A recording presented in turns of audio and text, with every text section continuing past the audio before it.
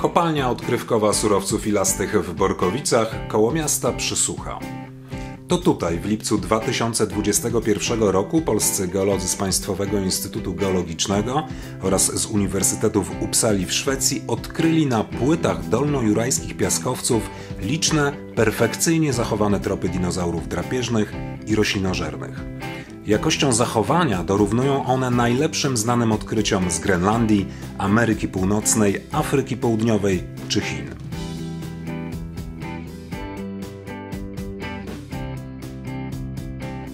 Największe dotychczas zarejestrowane w Borkowicach ślady dinozaurów drapieżnych osiągają prawie 40 cm długości.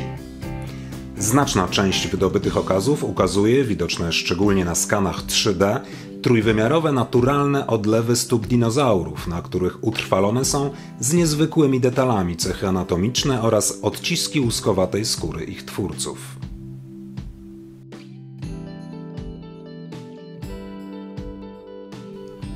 W Borkowicach odkryto nie tylko tropy dinozaurów.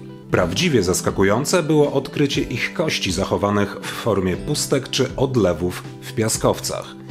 Są to wyjątkowo cenne okazy. Według odkrywców fauna dinozaurów z Borkowic należy do najbogatszych na świecie odnotowanych w osadach dolnojurajskich. Dotychczas udało się w Borkowicach zabezpieczyć kilkaset tropów dinozaurów, reprezentujących co najmniej siedem różnych gatunków tych zwierząt, a perspektywy poszukiwawcze są daleko bardziej obiecujące. Borkowice to prawdziwy skamieniały skarbiec, stanowisko pod każdym względem wyjątkowe, a dla naukowców to wyjątkowa okazja na lepsze poznanie wczesnej ewolucji dinozaurów.